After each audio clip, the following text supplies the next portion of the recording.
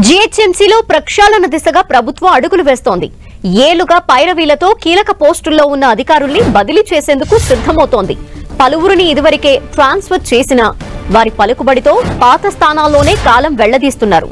Khairatabad deputy కమిషనర్కు ఇదివరకే బదిలీ చేసినా ఇప్పటికీ రిలీవ్ కాదే కాలేదు. అలాగే అనేక సర్కిళ్ళలోని డిప్యూటీ కమిషనర్లు పైరవీలు కొనసాగిస్తున్నారు. అటు జాయింట్ కమిషనర్ పోస్ట్ కోసం పదుల సంఖ్యలో కాల్స్ వచ్చినట్టు తెలుస్తోంది. దీంతో ఏలుగా ఒకే పోస్ట్లో ఉన్న అధికారులని ట్రాన్స్ఫర్ చేసేందుకు జీహెచ్ఎంసీ కమిషనర్ ఆమ్రపల్లి కమిటీ ఏర్పాటు చేశారు.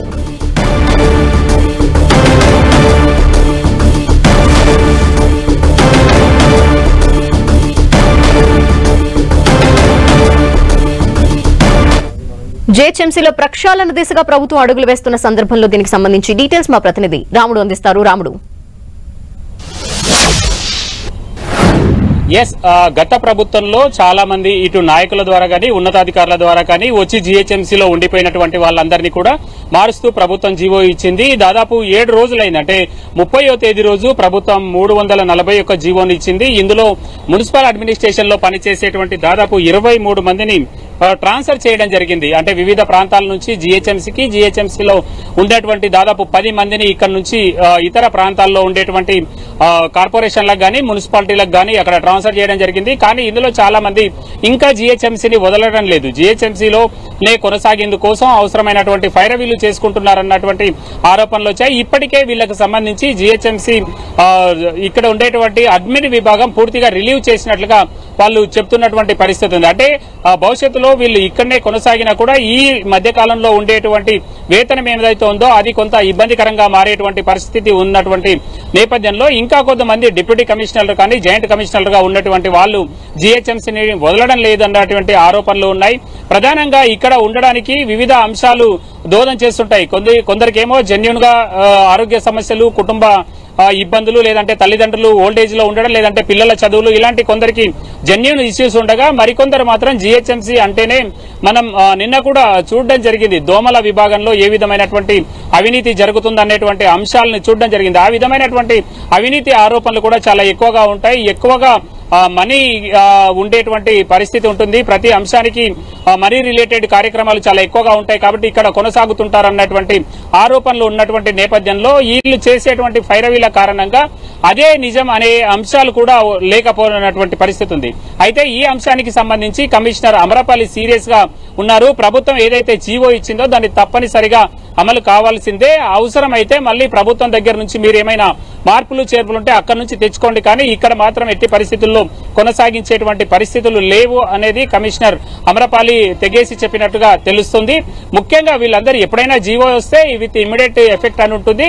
అయితే కొన్ని సందర్భాల్లో కొన్ని స్పెషల్ కేసెస్ లేదా కొన్ని స్పెషల్ సందర్భాలు ఉంటాయి. ఏదైనా మనం చూడొచ్చు గతంలో కోవిడ్ కానీ లేదంటే ఇప్పుడు పచ్చదనం పారిశుద్ధ్యం ఇట్లాంటి అంశాలు కానీ లేదంటే కొంతమంది గవర్నర్ దగ్గర పనిచేస్తున్నటువంటి అధికారిని కూడా జీహెచ్ఎంసీకి ట్రాన్స్ఫర్ చేసింది. ఆయన ఎనిమిదో తేదీ రోజు ఇక్కడ జాయిన్ కావడానికి టైం తీసుకున్నట్లు తెలుస్తుంది. అట్లా ఇట్లాంటి ప్రత్యేక సందర్భాల్లో వాళ్ళు కొంత మూడు రోజులు అటు అవుతుంది. కానీ దాదాపు ఏడు రోజులు పూర్తి అవుతున్నా కూడా వీళ్ళు మారినటువంటి పరిస్థితి.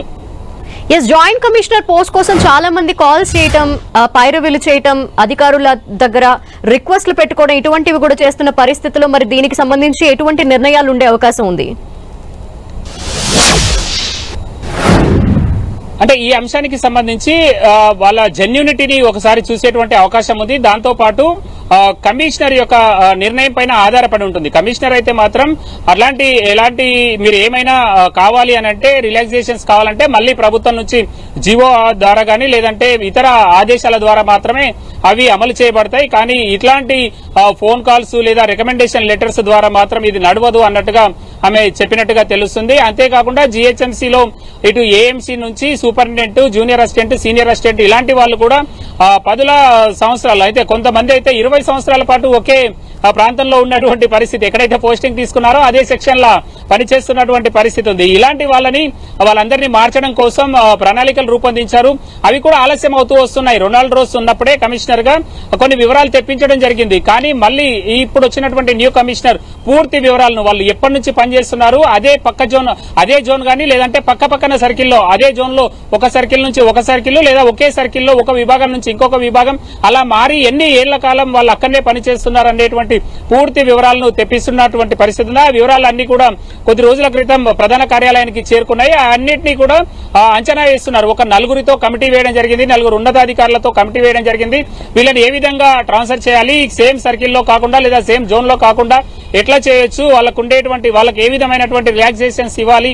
అదే విధంగా నలభై శాతం అరవై శాతం రేసియాలో ట్రాన్స్ఫర్స్ జరుగుతుంటాయి. అరవై శాతం మందిని ఉంచి మిగతా నలభై శాతం మందిని ట్రాన్స్ఫర్ చేస్తుంటారు. అలాంటి సందర్భాల్లో వాళ్ళ యొక్క ఏ విధమైనటువంటి ఏ ఏ అంశాలను పరిగణలోకి తీసుకోవాలి ఒకవేళ తప్పనిసరిగా ఉంచాల్సి వస్తే అలాంటి విషయ అలాంటి వారి విషయంలో ఏ విధంగా వ్యవహరించాలి అనేటువంటి అంశాలపైన కూడా ఆ, అమరపాలి అదే విధంగా వాళ్ళ టీం అడ్మిన్ టీం అంతా కూడా ఫోకస్ చేస్తున్నారు. దాదాపు నలుగురు ఉన్నతాధికారులతో ఏర్పాటు చేసినటువంటి కమిటీ ఈ అంశం పైన దృష్టి పెట్టింది. ఇక ఈ ప్రభుత్వం నుంచి వచ్చినటువంటి జీవోలో దాదాపు పది మంది ఉంటే ఇందులో ఇద్దరు అధికారులు మాత్రం సిన్సియర్గా వెళ్ళిపోయినట్టుగా తెలుస్తుంది. మిగతా అధికారులు మాత్రం అదే విధంగా ఉన్నారు. అయితే ఇక్కడికి వచ్చి జైనింగ్ ఇచ్చినటువంటి అంటే ఈ ఇరవై మూడు మందిలో ఇతర ప్రాంతాల నుంచి GHMC కి వచ్చినటువంటి వాళ్ళు ఉన్నారు.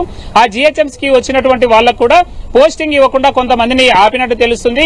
ఆ ప్రధానంగా వీళ్ళు వెళ్ళిపోతే వాళ్ళ దాంట్లో పోస్టింగ్ ఇవ్వడమా? లేదంటే అందరూ వచ్చిన తర్వాత కొత్త వాళ్ళు వచ్చిన తర్వాత వీళ్ళందరూ వెళ్ళిపోయిన తర్వాత ఒక ఒకే రోజు అందరినీ ఒకే ఆర్డర్లో తీయడానికా అనేది మాత్రం కొంత ఆ అంశానికి సంబంధించి ఫైనల్ కావాల్సినటువంటి అవసరం ఉంది. ముఖ్యంగా ఏది ఏమైనా కూడా జిహెచ్ఎంసీ కి ఒకసారి వస్తే వాళ్ళ పీరియడ్ దాదాపు ఐదు సంవత్సరాలు ఉంటుంది. ఐదు సంవత్సరాలు అయిపోయిన తర్వాత వెళ్ళిపోవాలి. కానీ అట్లా ఉండనటువంటి పరిస్థితి అయితే సిటీలో జిహెచ్ఎంసీలో మనకు కనబడుతుంది. థ్యాంక్ యూ రాముడు